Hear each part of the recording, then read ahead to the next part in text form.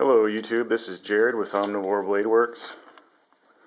I'll zoom in a little bit. This is a, a model of the new, well, this is the new direwolf. I can't remember the Lupis dirus. Yeah, that's the name of it.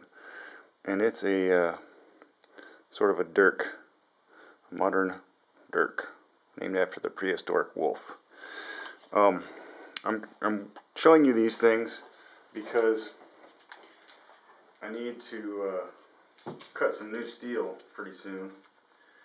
And um, I've had a call for something like this. It, was a request for a mini Gladius, and I decided I didn't want to make a mini Gladius because of the limitations uh, of that design. Um, so this is what I envision to be a more practical um, overall geometry to do the same job.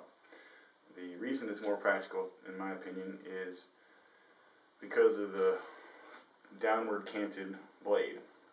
This allows an operator to thrust both close in with a, uh, you know, a more natural or strong grip uh, for an uppercut stroke, and it also allows you to place your thumb up here and, and engage at a longer distance uh, in a more natural um, wrist and arm position.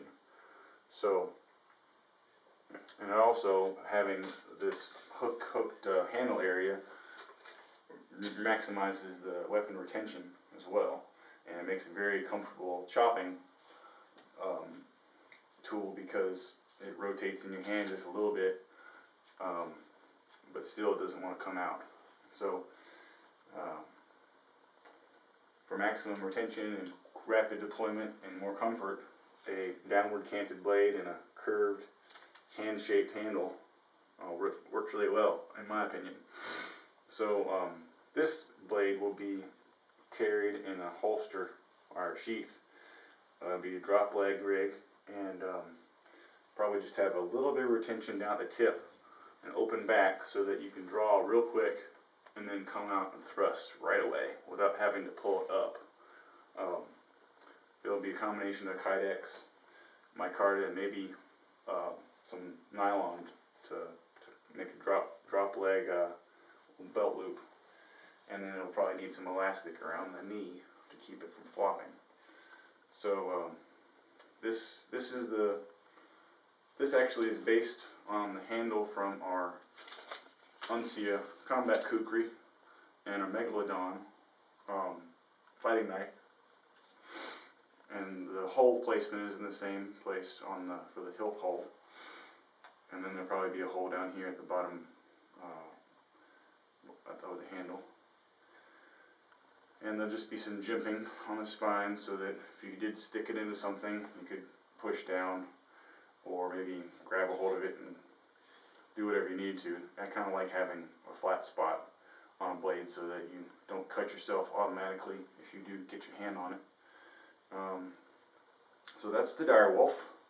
And then in the same family, predator family, we're going to make a few of these, which will be uh, for a, um, a Ginunting inspired blade.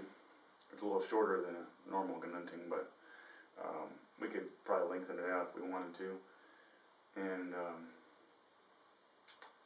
but you get the idea behind this. It's just the Filipino style. And uh,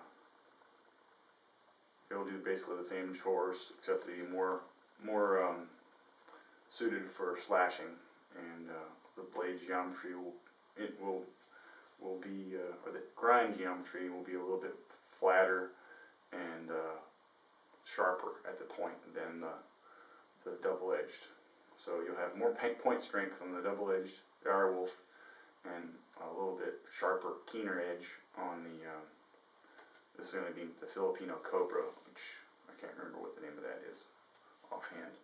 So anyway, um, this is going to be in the next batch of 1095 blades, and the direwolf is going to have uh, one of those in 3V for a customer's one, and um, and the rest will probably be 1095. Maybe I'll be going for myself too, a 3V.